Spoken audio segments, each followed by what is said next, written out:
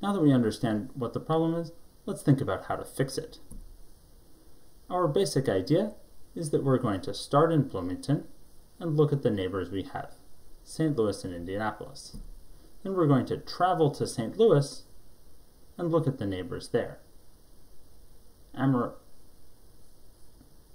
Oklahoma City is one of the neighbors. Bloomington is also a neighbor. But we're going to remember that we've already been to Bloomington. Then when we travel to Oklahoma City, we're going to remember that we've been to Bloomington and to St. Louis. We're then going to travel onward to Amarillo, Los Angeles, and so forth. Let's think about how we could represent that as an accumulator. When we get started, we haven't been anywhere, so our accumulator is going to start off as an empty list of places. Then when we travel to St. Louis, our accumulator contains just the place Bloomington.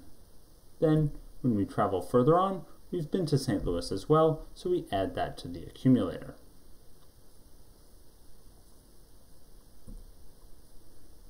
Now let's write generate way tree with an accumulator.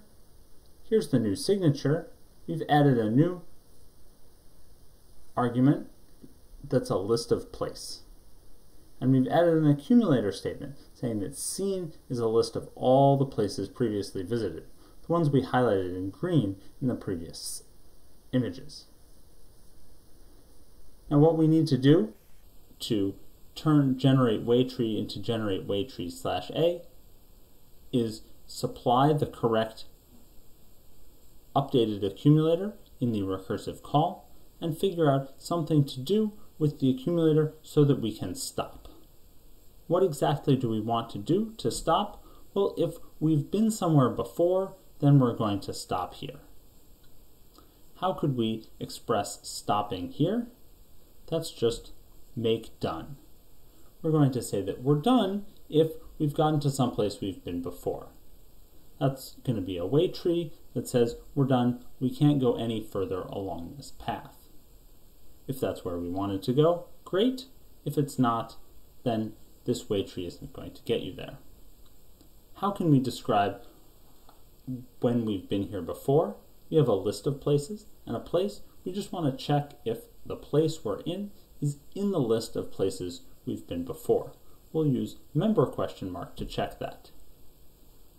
So now we know how to check using the accumulator if we've been in some place we've previously been.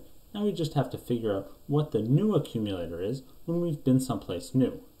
When we travel to the neighbors of start, we've been to one more place than we had been before, and that place is start. So we're going to take start, which is a place, and add it to a list of places. Fortunately, we can just use cons to do that. We're going to con start onto seen, and that will add elements to our accumulator. Now, when we run our program with generate way tree slash a and an initial accumulator, which says we haven't been to any places yet, we will correctly get a way tree that describes how to get from Bloomington to Los Angeles.